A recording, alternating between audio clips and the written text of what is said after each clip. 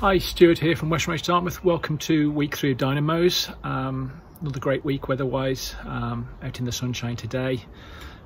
Today we're going to be doing a, a, batting activity. We're going to look at hitting the ball hard on the leg side. So we're going to focus on the pull shot.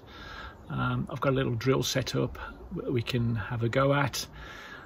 I've set it up for myself doing it by myself. Uh, if you've got a partner though that you can get the ball to be bowled at you underarm, fantastic. Um, the only thing I would say is because we're trying to hit the ball hard, have a think about where you're going to hit the ball.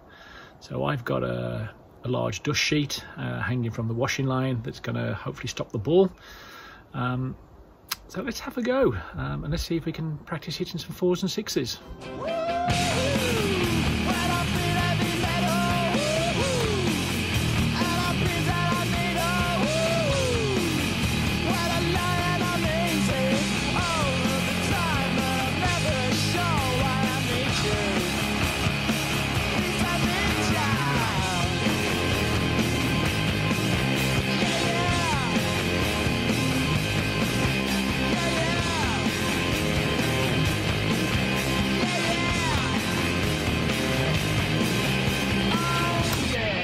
So what are the learning points from doing the pull shot there? Um, things you're looking for, high back lift, uh, a strong base, so my legs were fairly wide apart to give me some power because the power comes from the ground upwards.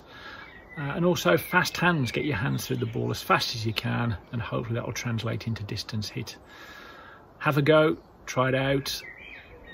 Uh, follow us on Twitter, Facebook, Instagram and YouTube, West Bromwich Dartmouth Cricket Club.